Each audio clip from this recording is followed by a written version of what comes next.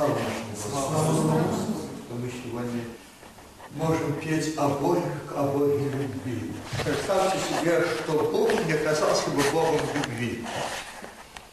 Для нас это было бы что-то очень страшное, потому что не найти его без его помощи нельзя, не понять его нельзя. И если бы он захотел делать зло, то мы еще вместе, все жители Земли, ничего не могли бы сделать. Поэтому мы сегодня особенно благодарны Богу, что это великая личность, которую сегодня трудно понять, трудно определить его силу и могущество, знать, что он всемогущий. Но он является Богом любви, за что слава и благодарение Господу.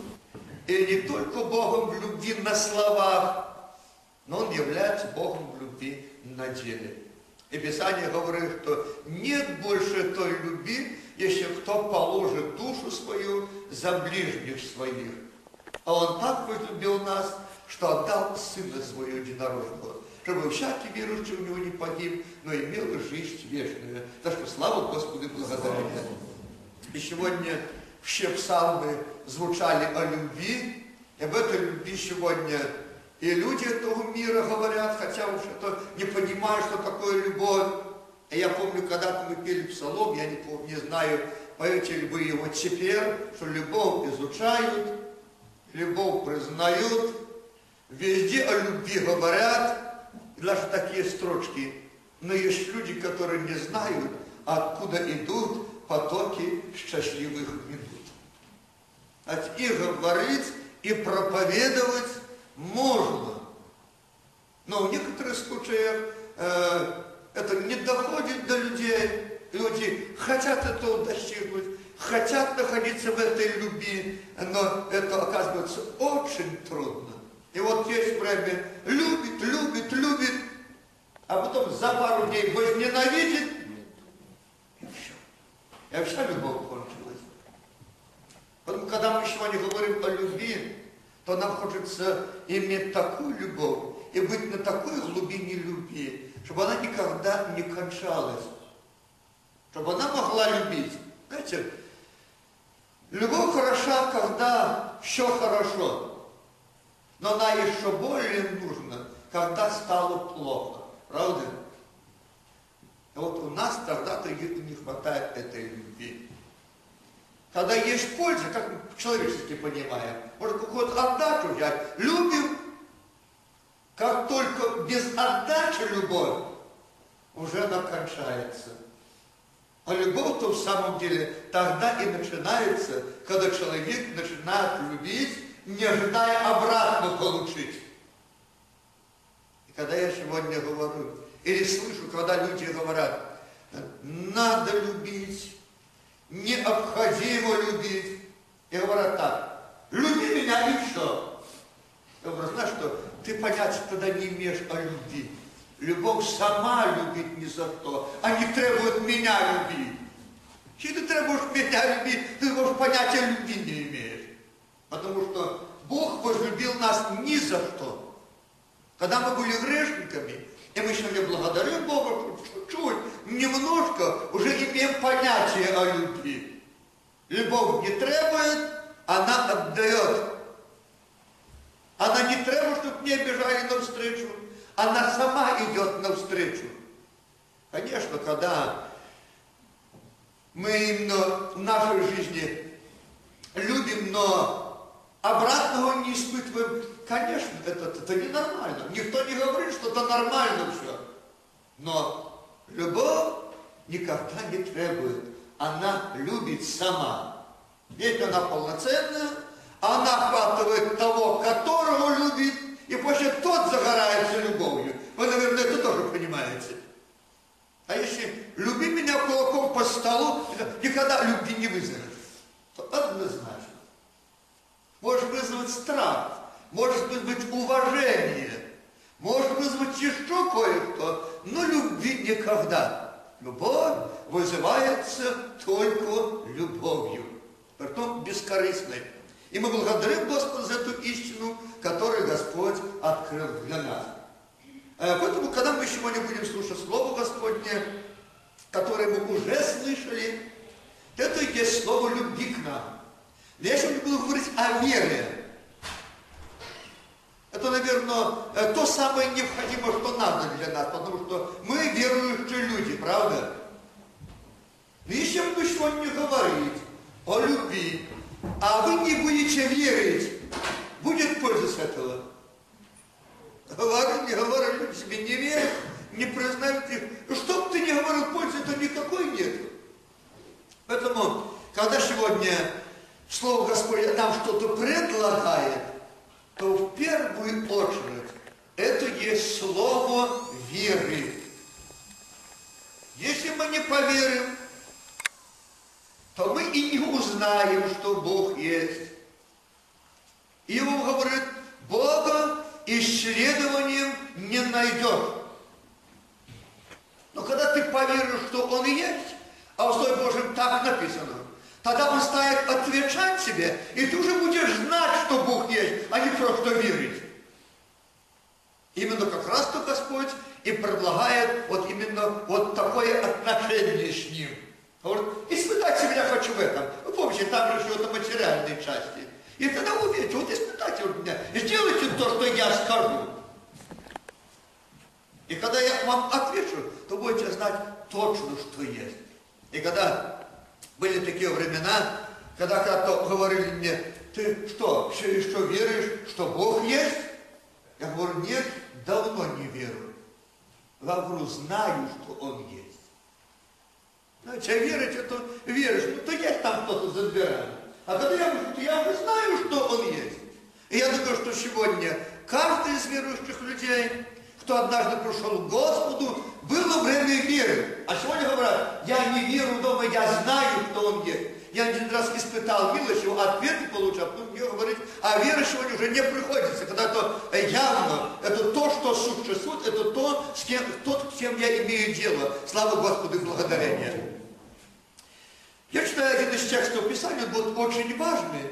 Почему? Потому что, когда мы приходим к Господу, и, наверное, пришли к нему только потому, что однажды испытали необходимость прийти к нему. В прошлые времена застойные называли, атеистические. Если кто-то приходил к Богу, значит, что-то было очень э, в жизни тяжелое. Потому что все кругом говорило, Бога нет, если только обратился к Богу, то будешь в презрении, то тебе ни работы, ни образования, ничего не будет. А вот скажи, что Бога нет и нет, вот тогда что-то откроется. И уже если в то время люди каялись, то редко бывало, чтобы они отступали. Сегодня покаялся хорошо, не покаялся тоже хорошо.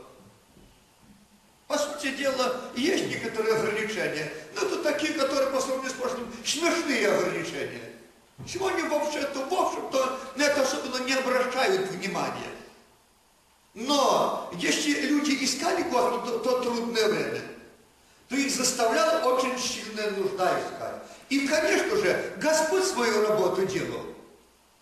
Я читаю один из текстов Писания, это Евангелие от Марка, 11 глава, 22-26 стихи.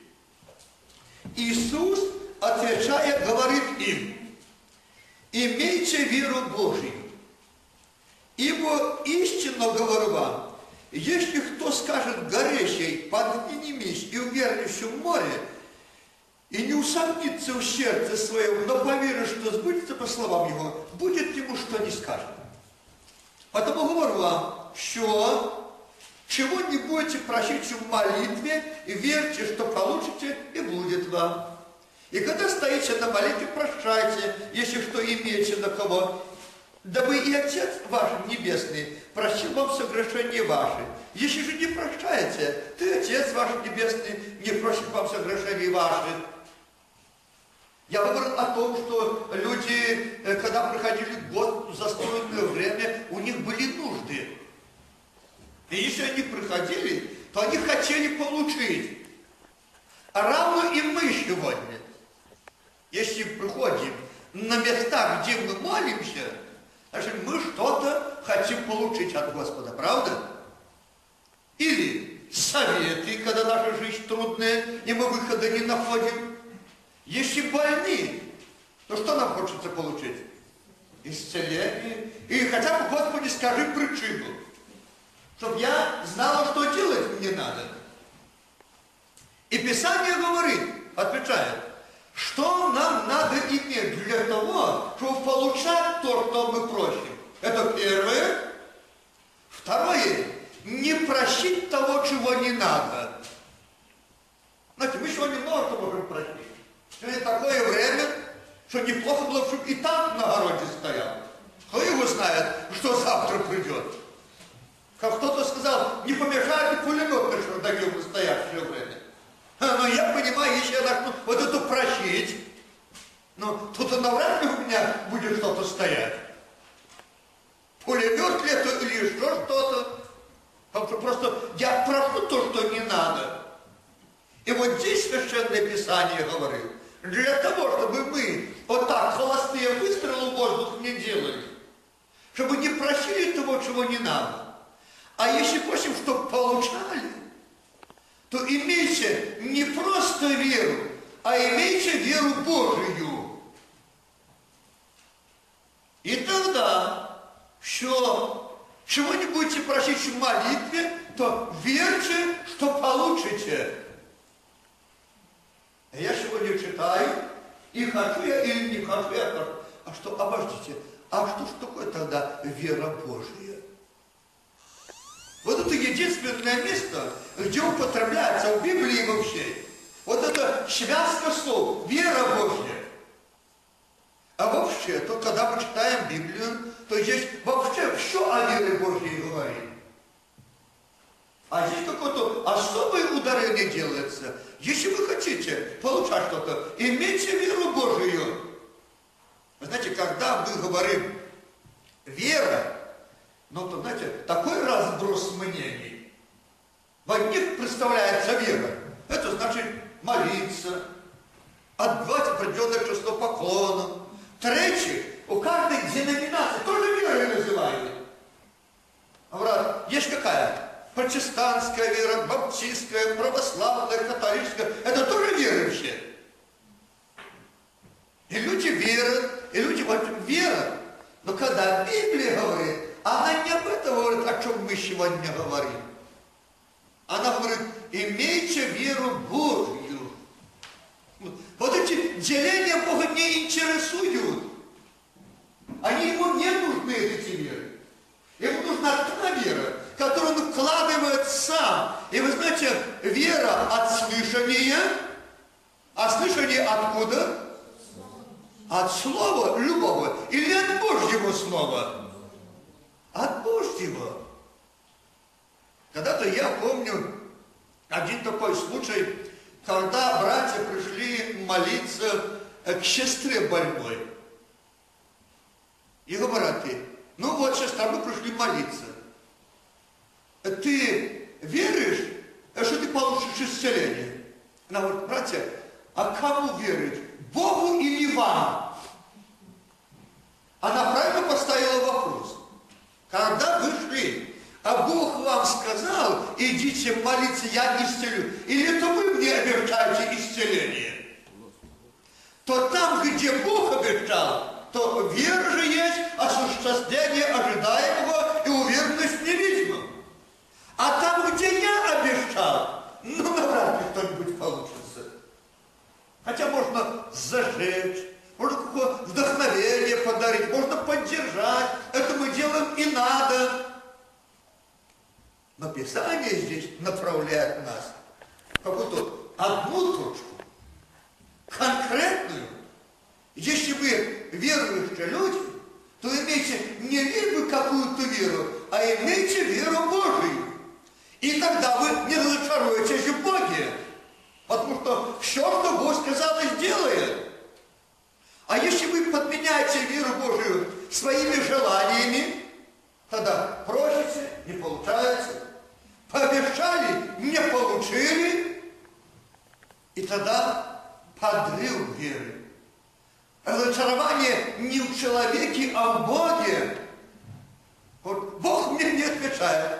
А вот сказал бы, а я тебе ничего и не обещал. Тебе Иван обещал, ты к нему. Это он тебе обещал по имени, а я тебе ничего не обещал. Какие ты ко мне претензии имеешь? А то, что я обещал, то я сделал.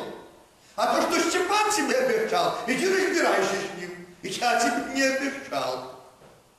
Поэтому, когда я сегодня читаю Священное Писание, то я понимаю, а вообще мы, когда приходим, повторяешь на наши места молитвы, мы хотим получить что-то.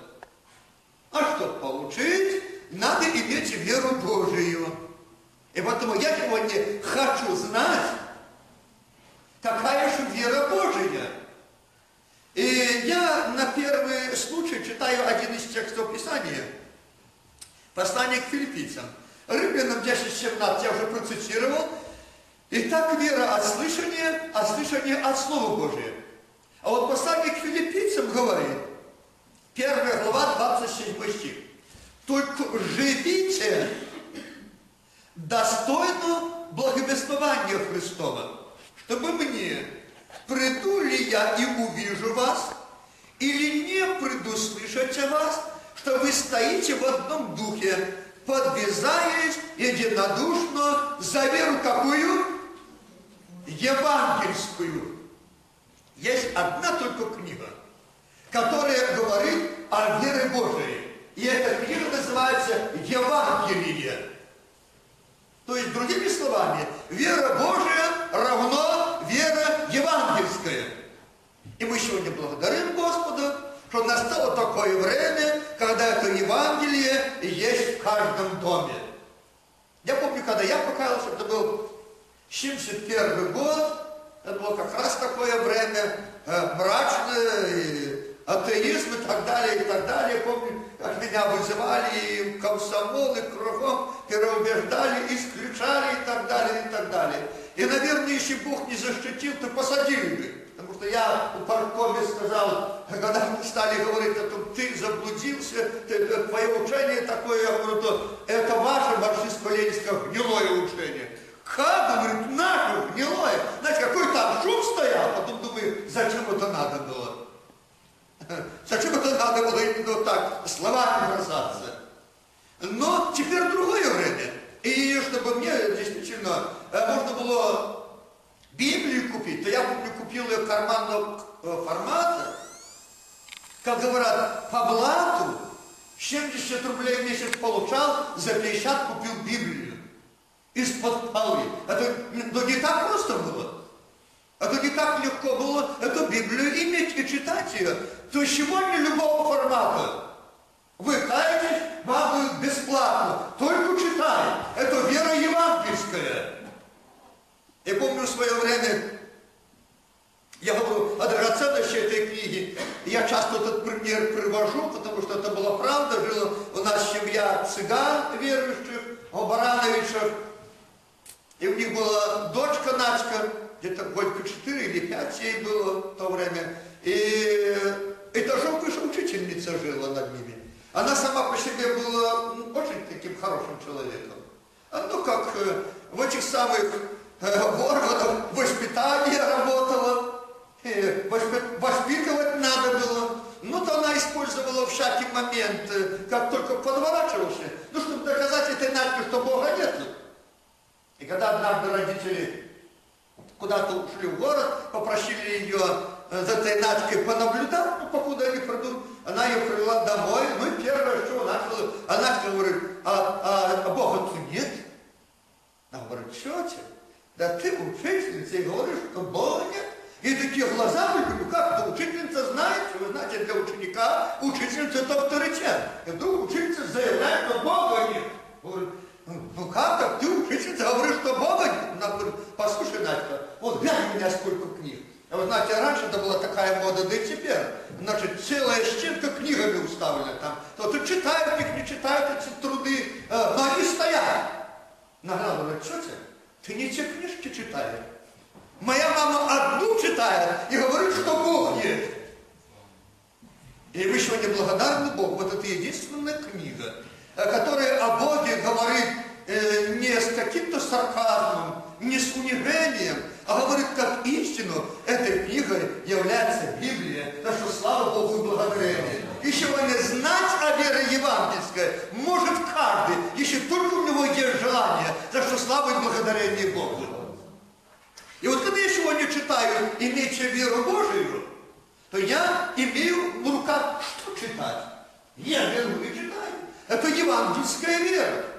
Это то, о чем написано в Евангелии. И я сегодня понимаю, если это вера евангельская, сегодня эта мысль прозвучала. Вера Божия, Божия означает полноту. Потому что Бог и есть Бог всякой полноты. Если сравнить его творение с ним, то оно все ему проигрывает. Самый высший чин ангелов, Серафимы, которые сегодня поют пред престолом Божьим, которые не могут смотреть в лицо Господа, они не имеют той силы, что Он сам имеет. Они не имеют той мудрости, которую Он имеет. Они не имеют той святости, которую Он имеет. Он имеет, он имеет сто процентов. Он имеет всякую полноту. Вот почему Иов говорит, он и в ангелах своих усматривает недостатки. Вы помните это место Писания? Недостатки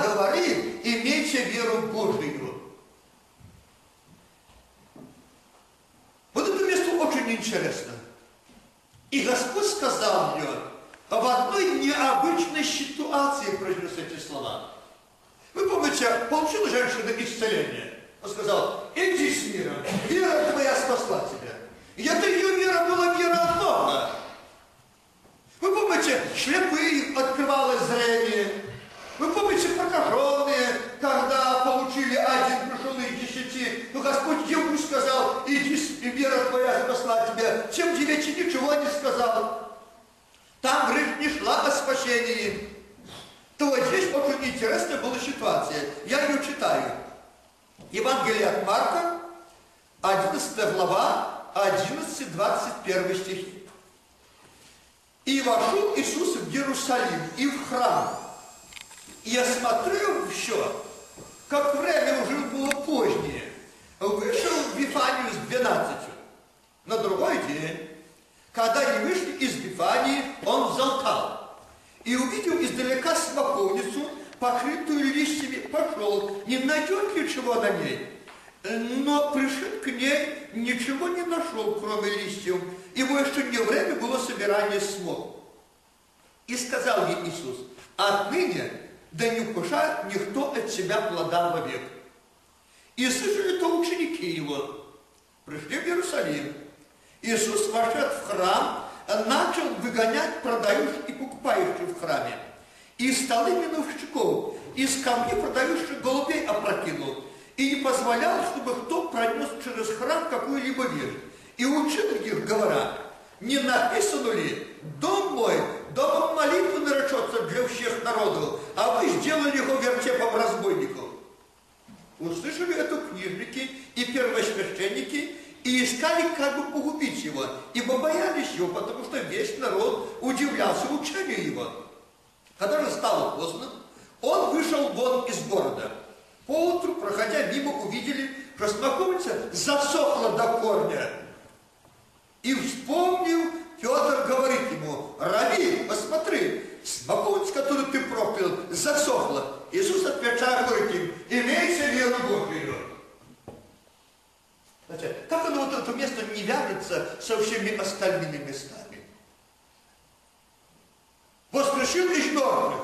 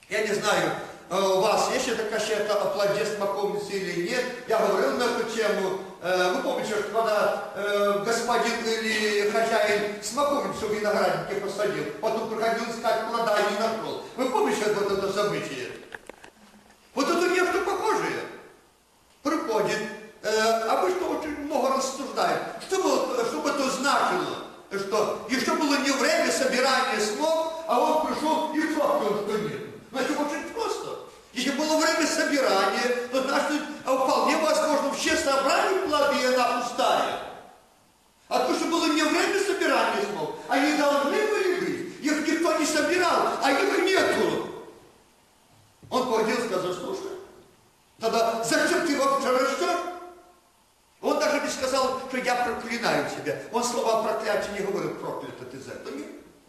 Он просто сказал, да не будет с этого мгновения на тебе плода вовек. Несколько дней идут назад, и смотри, ровей, смоковница, которую ты проклял, засохла. Он говорит им, имейте веру Божию. Вот как она не увязывается вот с нашим этим пониманием. Но вот то имеет огромную силу, когда мы связываем веру с получением каких-то драгоценностей от Господа. Но когда мы грешим, будем мы исполняться Духом Святым 20 раз на день, или получать обетование Божие 40 раз в день, это нам не помешает войти в вечность. А если раз, два, три согрешили, да не остановились, это может быть трагедия. И тут еще вопрос, что важнее, обличение или поощрение. Все важно. Но новая жизнь начинается. Покайтесь, ибо приблизилось Царство Небесное. А если не покаешься, не войдешь в Царство Небесное. И это очень важно. И я сегодня должен этому верить. Если я не поверю, нет той полноты Божьей веры во мне. Вы помните, однажды Павел говорил, я хочу прийти к вам, чтобы дополнить, чего не хватает веры вашей. Вы помните это местописание? И вот то, что я сегодня говорю, я хочу что-то дополнить. Обращайте внимание на обе стороны. Вот интересно. Э, я думаю, будете все согласны, что Иисус Христос был наполнен верой Божией, правда? Ну, но если Он не был наполнен верой Божией, то кто тогда может носить ее такую полноту? Но вы гляньте, что Он делал. А я еще раз перечитаю. Мы, наверное, тут не относим к вере Божией, когда нас предупреждают, стой, ты делаешь не то, что надо. Ну, ну предупредили нас. Ну, а что-то вера Божия была. Но кто его знает еще? А между прочим, смотрите, и вошел Иисус в Иерусалим и в храм. И я смотрю еще, как время было позднее. Э, вернее, с 15 стиха буду читать, чтобы перечитывать все. Пришли в Иерусалим, и Иисус, человек, наполненный верой Божией, вошел в храм, начал выгонять продающих и покупающих в храме. И столы миновщиков, и скамьи продующих голубей опрокинул, и не позволил, чтобы кто пронес через храм какую-либо вещь. И учил их, говоря, не написано ли, дом мой дом молитвы наречется для всех народов, а вы делали его вертепом разбойников. Как у вас это ассоциируется с верой Божией? А, наверное, и не думали, что очищать, предупреждать, запрещать, меры принимать, тоже вера Божия. А как иначе что-то можно делать? Это неприятная часть веры Божией нам, людям. Мы не очень-то это любим. Но если пастор в своей церкви видит, как люди нарушают Слово Божие, попирают Слово Божие и не делают выводов, то не хватает его веры Божьей. Вы понимаете, о чем я говорю? А люди, которые не хотят ему подчиняться, тоже не имеют веры Божьей. Говорят, он любви не имеет, надо было по-другому что-нибудь сделать, а почему он так делает? Вот вам пример. Человек, который был исполнен верой Божьей. Он не позволял, чтобы кто-нибудь проник через храм какую-нибудь вещь. Наверное, вы никогда до сегодняшнего дня вот так веру Божию не рассматривали. Описание говорит, если хотите получать от Господа, то имейте какую веру? Божию. Она включает все. И вы помните конкретно, когда Господь здесь говорил, вы знаете, на что он обратил внимание? Имейте веру Божию, я не перечитываю.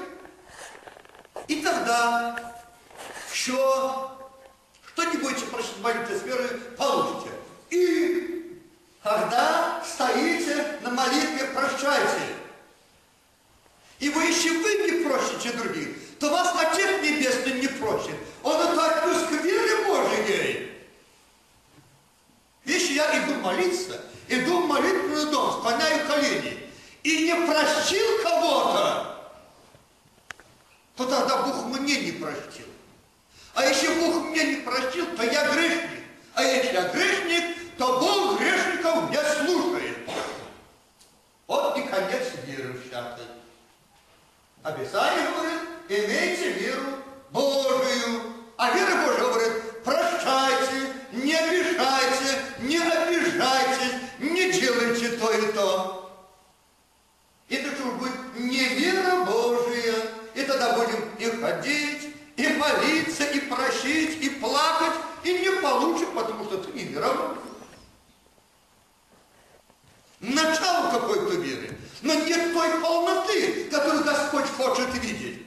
Вы понимаете, насколько все это непросто? Я, может быть, еще не скажу сегодня, но напомню один из текстов Писания. Это будет второе послание Петра, первая глава, 5-11 стих. Когда Писание говорит, то вы, говорит, не просто говорите, что вы верующие, но покажите в вашей вере. А что покажите? А там такие ценные качества в этой вере. Это будет вера Божья. Покажите вашей вере добродетель. В добродетели что? Рассудительность.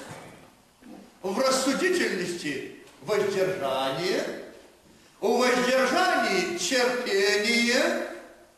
В терпении благочестие, благочестие, братолюбие, в братолюбии любовь.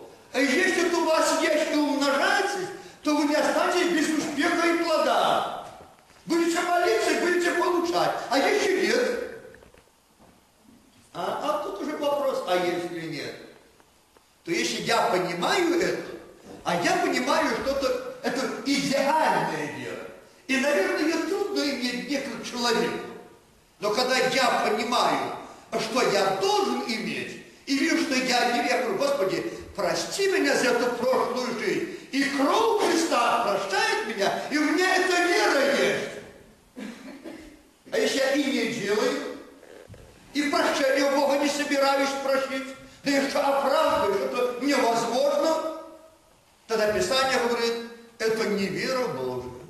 А если это не вера Божия, тогда не обижайте, что не получали, потому что имейте веру Божию, и тогда все, что не будете просить в молитве с верой, получите. То есть не останетесь без успеха и плода в познании Господа Иисуса Христа и так далее. Как бы я хотел, чтобы в сегодняшний день мы обратили на внимание. Имейте веру Божию. Вы знаете, и эта вера, я прошу что особое внимание.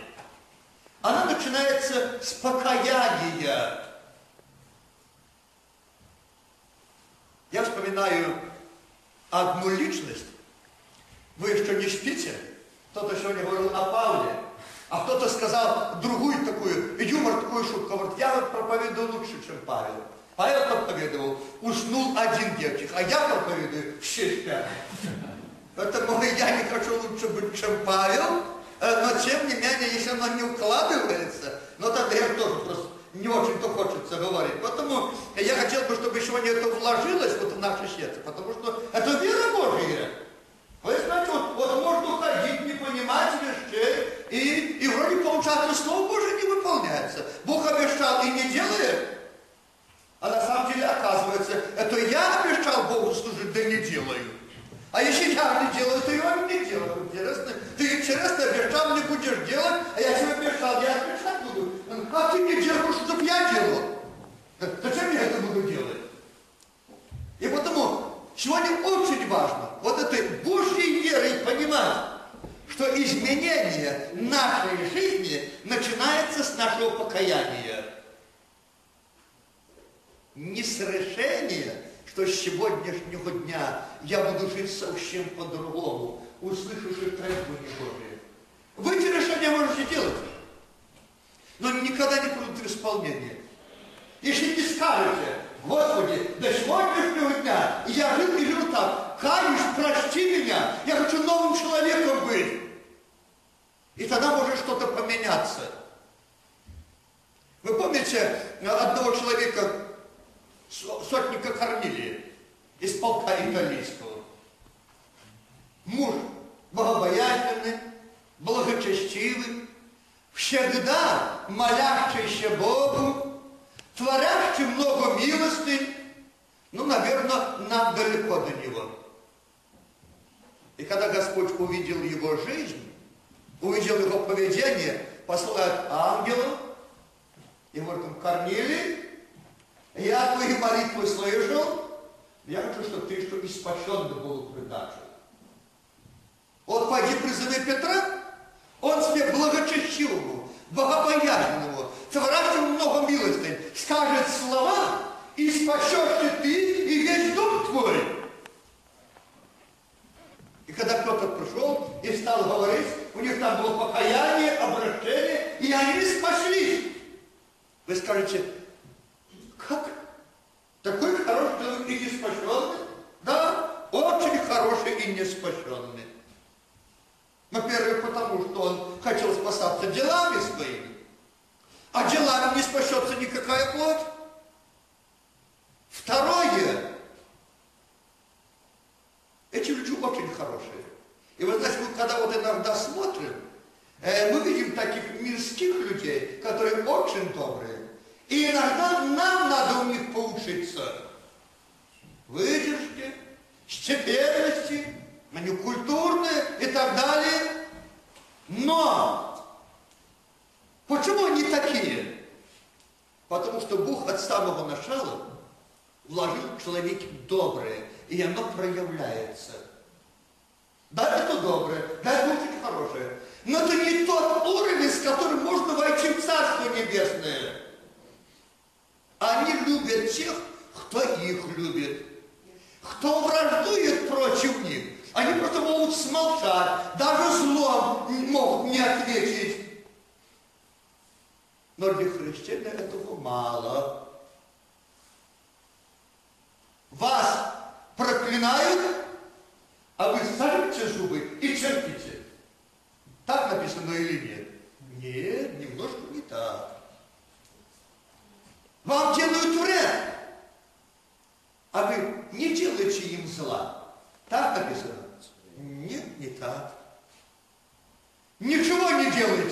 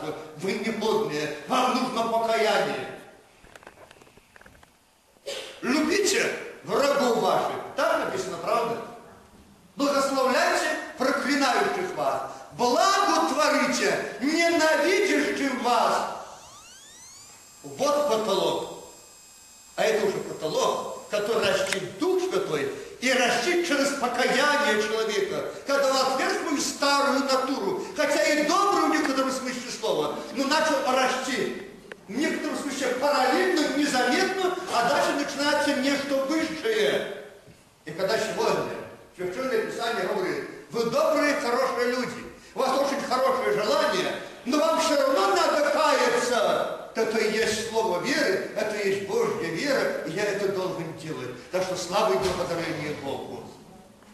А иначе будет не Божья уже вера, человеческая. Как бы я хотел, чтобы мы сегодня поняли, что же имел в виду Господь, когда говорил, имейте веру Божию. И тогда, если вы будете иметь, то все, что не будете просить в молитве с верою, верьте, что получите. Слава Ему и благодарение. Я немножко возьму одну еще сторону нашей жизни. Мы наблюдали за своей жизнью, и, наверное, вы отмечали, короткий ли ваш христианский век, или он длинный уже, это годы или десятилетия, но вы отмечали одну особенность. Сегодня прослушали Слово Божие, появились крылья веры. Все, уже как-то вас никто не собьет. Потом прошло два дня, и где те крылья делись уже? Разбиты, скомканы, какой-то помятый весь. Ну какая там вера? Какое там особое что-то? И если нам мирская пословица не доживу, быть бы живу, мы так часто и говорим, как спастись? Сегодня мы думали, как дары получить, как пойти евангелизировать, как спасать других людей. Прошло два дня, и сам говорит, о Господи Боже, как спастись? Как спастись невозможно. Что получилось? Почему сегодня была вера, а завтра нету? Знаете, Священное Писание говорит, что эту веру, которую Бог формирует в сердце, ее надо хранить и соблюдать. А вы помните Откровение где написано, что говорит, э, тому, кто соблюдает дела мои, дам власть над десятниками. Вы помните это местописание?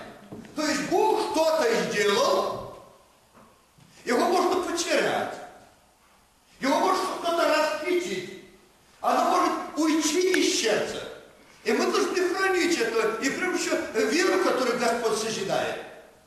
И вот Священное Писание говорит, э, когда вера теряется и где она хранится. Э, конечно, этот текст относится к служителям, 1 Тимофею 3.9, но оно относится к каждому из нас. Потому что в некоторой мере мы являемся священно действующими людьми, каждый на своем месте.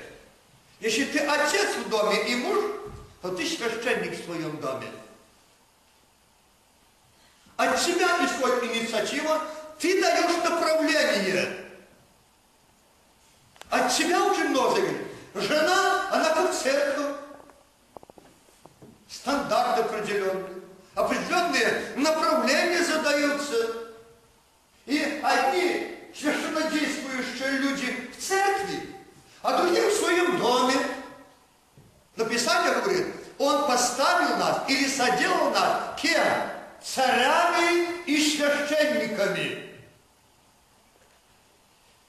Это стих говорит так. 1 Тимофею 3.9. Хранящие таинство веры в чистой совести.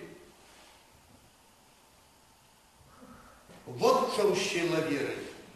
Чистой совести. Как только вы где-то нарушили волю Господню, тут же дьявол начинает бить вас. Ага. Вот твоя и вера. Вот ты и веруешь. И что ты думаешь, это тебе Бог будет отвечать? И если не хватает веры, описание говорит так, дети мои, пишу вам, чтобы вы не согрешали. А если бы кто согрешил, то что? Мы имеем Иисуса Христа, ходатая, праведника. Но как тогда трудно ухватиться за эту руку? Ты хватаешь? Ты помнишь, что это написано? А дьявол говорит, да который раз уже это делаешь? Что думаешь, тебе Бог так прощать будет? Да ты перестаешь на пальцах. Сколько ты раз переступаешь эти границы? Я хватаюсь, а он по рукам. Я хватаюсь, а он по рукам. Да где же тут молиться за освобождение? Где же тут молиться за других, когда сам я не стою? Совесть осквернилась. А крепкая вера в чистой совести хранится. Братья мои дорогие сестры, как бы я хотел, чтобы вы сегодня понимали, что таинство веры, оно хранится в чистой совести. А если бы кто согрешил, то мы имеем Господа Иисуса Христа и кровь завета, который делает свободной совесть нашу, освобождает от мертвых дел. Так что слава и благодарение Богу. Поэтому вот этот момент я не могу не отметить. Ну, конечно, есть чистая совесть, есть непорочная совесть, есть сожженная совесть. Есть такая совесть сожженная? Есть. Есть. Библия об этом говорит. Э, лжесловесники, сожженные в совести своей. Я помню одного брата, это когда я еще был совсем молодым, лет, наверное, 20 назад, говорю, слушай, ну как ты так можешь? Пойдешь на танцы, пойдешь в кино, а потом садишься в хоре поешь. А меня совесть моя не обличает. А если совесть не обличает, можно. Она его не обличает, потому что она сгорела. Ее нет. Это сожженная совесть. Когда-то один рецидивист, вор, э, покаявшийся, стал свидетельствовать, похожий, ну, этот говорит, а, где не в? Моя совесть меня не обличает. Он подумал, потому что у тебя, говорит, нет. Когда тебя появится, ты найдешь в чем каяться. И потом, где сегодня обращают это особое внимание? Хождение перед Господом святость. И, конечно, не наша вообще святость, которой мы ходим. Не наша праведность. А наша праведность написано. Ваша праведность как запачканная одежда. А наше стремление, наше искреннее покаяние и кровь, действующая Иисуса Христа, она дает нам ту необходимую святость, где можно хранить эту сильную веру. Слава Господу и благодарение. Поэтому, дорогие мои братья и сестры, я хочу напомнить один из текстов Писания, который будет нас направлять в эту веру Божию. А я думаю, нам всем, вам и мне хочется иметь веру Божию, правда? А зачем та вера, которая только для успокоения совести, а ты ничего не получаешь от тебя? Кому она нужна такая вера? Если это хождение куда-то, кому оно надо? Вы помните, Господь однажды сказал, кто, говорит, сказал нам, чтобы вы топтали дворы мои? Вот это уже напрасно, это уже тщетно. Потому я недостаток веры, поймаю неполноту, но у меня есть стремление, я хочу иметь веру Божию. И я хочу знать, что Библия говорит, какую веру называет Божьей верой, а которую нет. Один из текстов читаю. Евангелие от Луки. 17 глава, 15-19 стихи. Один же из них, видя, что исцелен, возвратился, громким голосом прославляя Бога, и пал низ к ногам его, благодаря его. И это был самарянин. Тогда Иисус сказал, где десять ли очистились, где же девять? Э, как они не возвратились воздать славу Богу, кроме чего иноплеменника? И сказал ему, встань, иди, вера твоя спасла тебя. Вы знаете, о чем этот текст говорит? Настоящая вера всегда будет направлять человека на благодарение Богу за то, что он получил. А та неполноценная вера получил и слава Богу, и забыл, что получил. Получили десять. Знаете, получить исцеление от проказы, это до сегодняшнего дня неизлечимая болезнь. Она называется лепра. Где-то в Сибири есть номерные лепрозории, там работают прокаженные врачи, а то смертники. Лепра и сегодня не лечится. Эти люди предстали перед Христом. Христос сказал им, что сделать. Они поверили, пошли. И покуда шли, получили исцеление. И одни получили исцеление девять. И побежали скорее в свои дома. Побежали к людям, потому что, вы знаете, жить без людей очень трудно в одиночестве. А это были люди, которые достаточно отверженные от ребьей земли. Они не имели права так вот заразная болезнь прикасаться с людьми здоровыми. Если кто-то шел именно встречу, они были обязаны кричать «Не чист, не чист, не чист, не подходи ко мне!» И вдруг получили исцеление, знаете, я думаю, это была радость для них. И побежали. А один глянул и тоже побежал. Но они побежали домой, а он побежал к Богу благодарить. И Господь сказал, вот это вера. Иди, вера твоя спасла тебя. А чем девять? Во всяком случае, Иисус им не сказал, что их вера их спасла. Они получили от Него и пошли заниматься обычными делами своими. Да, было изменение, они пришли радостью свои семьи, они стали полноценными людьми, и все. И на этом точка. И это была не Божья вера. Я бы хотел, дорогие мои братья и сестры, если мы хотим иметь Божью веру, чтобы мы всегда находили, за что поблагодарить Господа. За то, что живы и здоровы. Если даже и больные, но своими ногами приходим сюда, своими ушами слышим, нас никто не водит под руки, и за это благодарение Богу. И, наверное, есть много людей, которые болели теми же болезнями, что и вы болеете. Их, наверное, уже и костей вы не найдете. А вы до сегодняшнего дня живы. За что благодарение Богу? Кто-то соблазнился. Походил, походил в собрание, ушел и нету. А у вас вроде и шатаетесь сюда и туда, но идете в молитвенный дом, за что благодарение Богу. Вот все равно сюда тянет. И как не благодарить Бога? за ту великую милость. Второе, на что я обращаю внимание, чтобы откасаться Божьей веры. Откровение, вторая глава, 12-17 стихи. И ангелу Пергамской церкви напиши.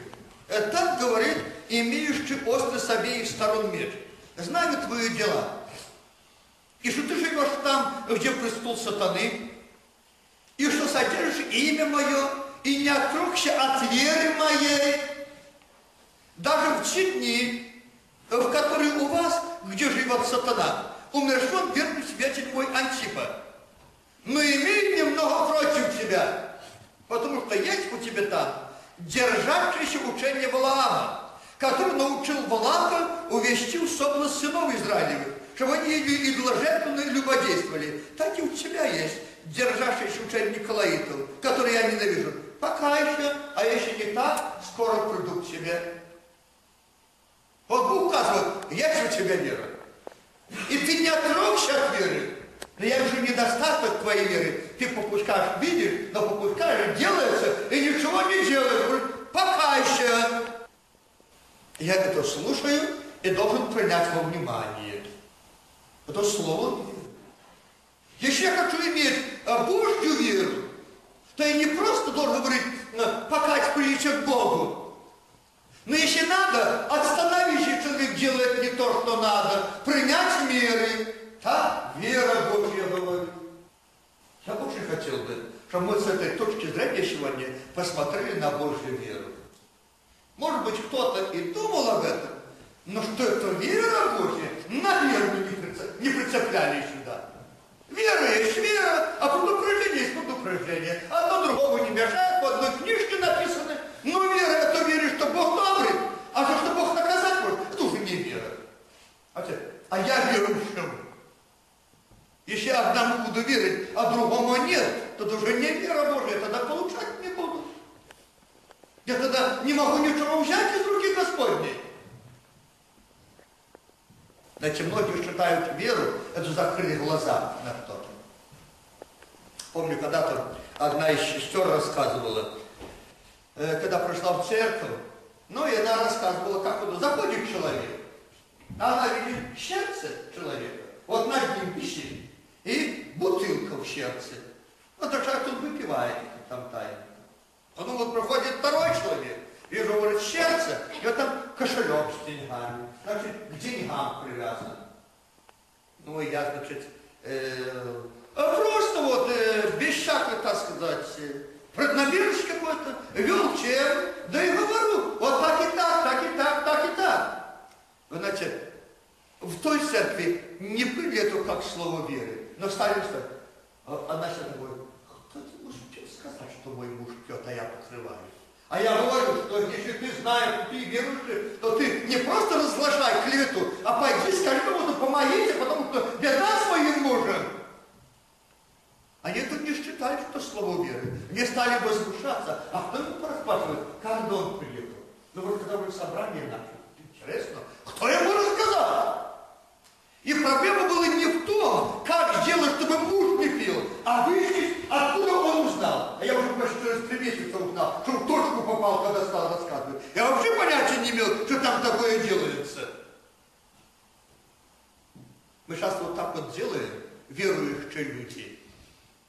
Я имею в виду э, все верующие, муж, который бывает тоже верующий, но он верующеват, это верующий верующеватый. Немножко верующий, немножко мирской, немножко такой, немножко такой. Ну вот вера требует, принимай веры. Или сама становись на колени. Или иди кому-то проси, чтобы помогли. Это будет вера. Потому что вера ведет к спасению. А приглаживать и закрывать, это ж не вера. А где это вера? Человек идет погибель, а ты замазываешь и наоборот стараешься скрыть так, чтобы никто не узнал, и вообще, чтобы не вылезло. Говорит, только не вылезло, это все. Это не вера. И эта вера не приведет к цели. Эта вера не даст жизни, она не приведет к радости, эта вера. Дорогие мои братья и сестры, имейте веру Божию. Я надеюсь, вы теперь понимаете, что я веду речь. Меньше веру пришел, глянул, и давай стал перекидать. Сегодня сказали бы хулиган.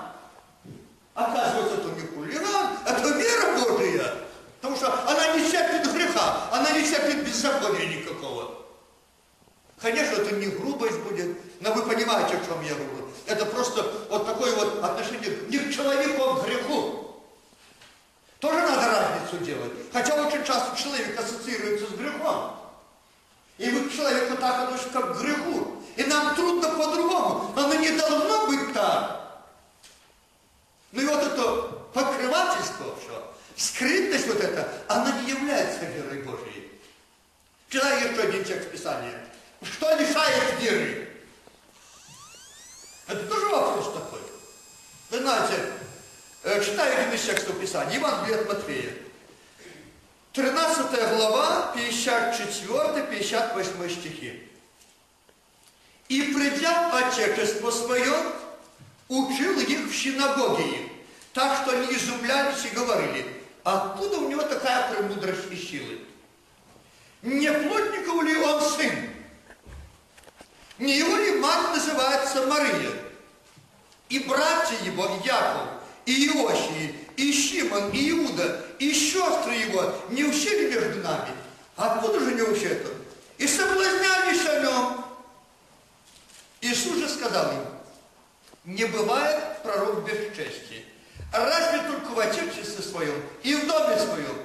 И не совершил там многих чудес по неверию. Иисус Христос, начальник веры, который воскрешал мертвых, а в этом месте не мог совершить ничего по их неверию. Вы знаете, кто-то неверие создал?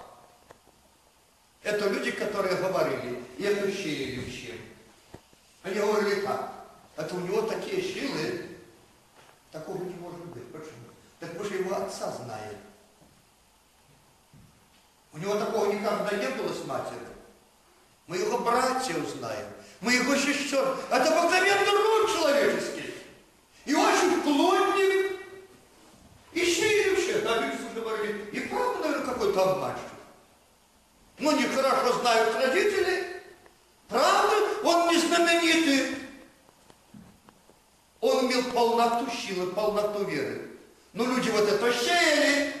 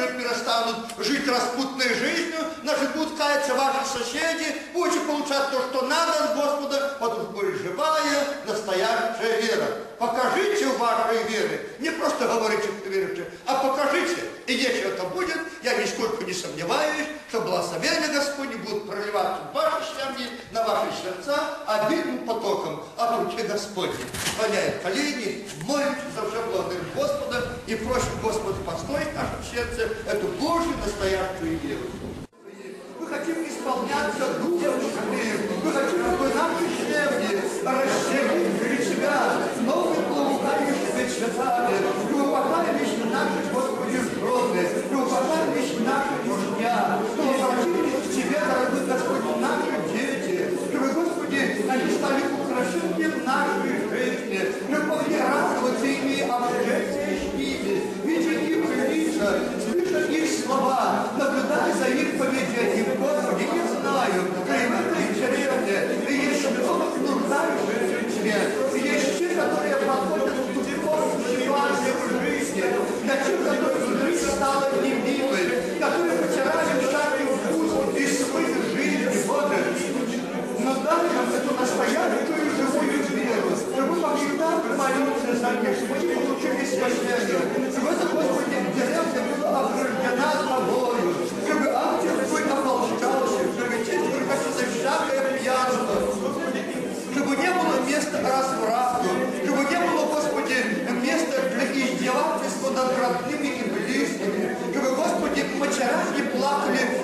сыновей. Чтобы отцы не страдали из-за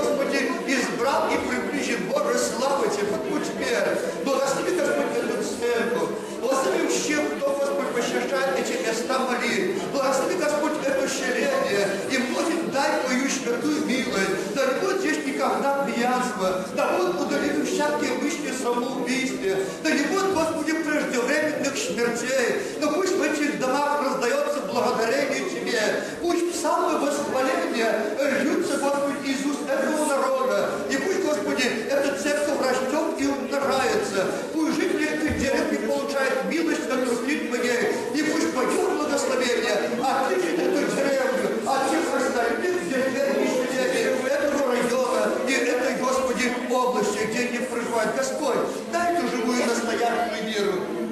Пусть каждый из твоего народа, кто сегодня находится здесь, будут как свеча, поставленные на подсвечнике в доме. И пусть этот свет не оставит никого равнодушным. Пусть он вызовет интерес к тебе. Пусть твое благословение прольется обильным потоком. И пусть слава тебе умножится и возвеличится э, многократно из уст этого народа, который обитает в этом селении и находится сегодня в этой церкви. А за все твои милости, за святую любовь, за сегодняшнее богослужение, прими от нас хвалу и благодарение, как и вечный наш Господь, Отец, Сын и Дух Святой. Аминь.